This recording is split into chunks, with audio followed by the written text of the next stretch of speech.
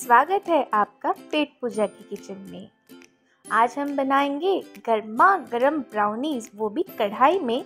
Tasty brownies healthy version में, जिसमें ना मैदा, ना चॉकलेट ना ही चीनी है।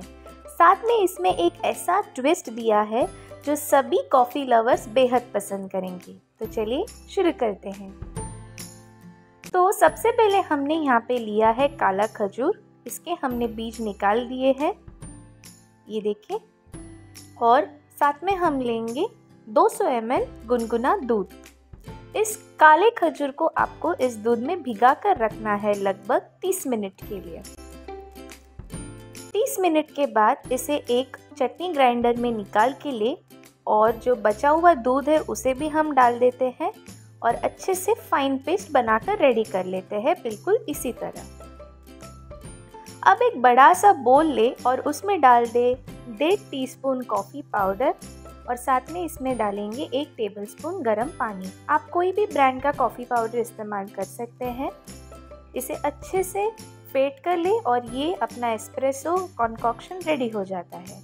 अब इसमें डालेंगे एक चौथाई कप गेहूँ का आटा और आधा कप रोल्ड ओट्स साथ में हम डालेंगे स्वाद अनुसार नमक और ये डेट्स का पेस्ट, यानी कि काला खजूर का पेस्ट हम ऐड कर देंगे और अच्छे से इसे मिक्स करके ले लेते हैं। ये अच्छे से बाइंड हो जाना चाहिए। ये देखिए। ये बिल्कुल हेल्दी वर्जन है। इसमें ना हमने मैदे का इस्तेमाल किया है और ना ही चॉकलेट का।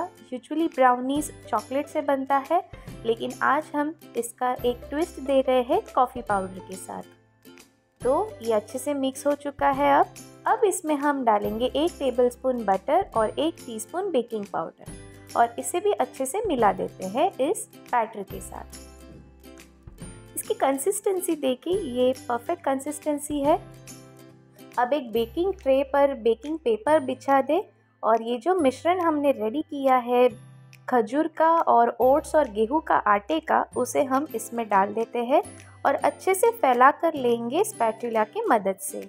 इसके साइड्स को आप अच्छे से टक कर लें ताकि ब्राउनी का जो स्क्वायर शेप है, वो अच्छे से निखर कर आए और हाथों की मदद से इसे इस तरह से प्रेस कर लीजिए।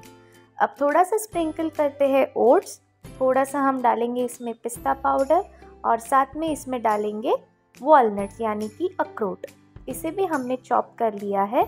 अब पहले से ही आप प्री हीट कर लीजिए कढ़ाई जिसमें हमने डाला है क्रिस्टल सॉल्ट यानी कि जाड़ा नमक, और उसमें हमने प्री हीट किया 10 मिनट के लिए, और अब इसे हम बेक करेंगे 40 मिनट के लिए लो फ्लेम पर। 40 मिनट के बाद हम चेक कर लेते हैं नाइफ़ की मदद से हम चेक करते हैं, अगर ये अच्छे से निकल कर आए तो इसका मतलब आपका ये ब्राउनीज बनकर रेडी हो चुका है। गैस बंद कर ले और इसे प्लेटफॉर्म पर निकाल कर ले लेते हैं। इसे थोड़ी देर के लिए ठंडा होने दे पाँच से दस मिनट के लिए। और अब इसे निकाल देते हैं बेकिंग पेपर से। ये देखिए, इसे हम अब निकाल लेते हैं। अच्छे से ये ठंडा हो चुका है, ज़्यादा ठंडा करने की ज़रूरत नहीं है। थोड़ा वार्म रहेगा तो भी चलेगा। अब इसे हम निकाल लेते हैं और प्लेटफॉर्म पर या फिर कोई भी प्लेट के ऊपर रख देते हैं। साइड से इसे टक कर ले और छुरी के मदद से इसे अब हम काट लेते हैं। बिल्कुल ब्राउनीज के शेप में।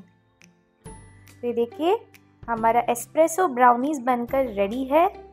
दिल से बनाइए, दिल से खाइए। ये एस्प्रेसो ब्राउनीज पेट पूजा में आपको कैसे लगे, ज़रूर बताइएगा मुझे कमेंट सेक्शन में। और इसी तरह आपको पेट पूजा के वीडियोस पसंद आते हो तो ज़रूर इस चैनल को लाइक शेयर और सब्सक्राइब करें।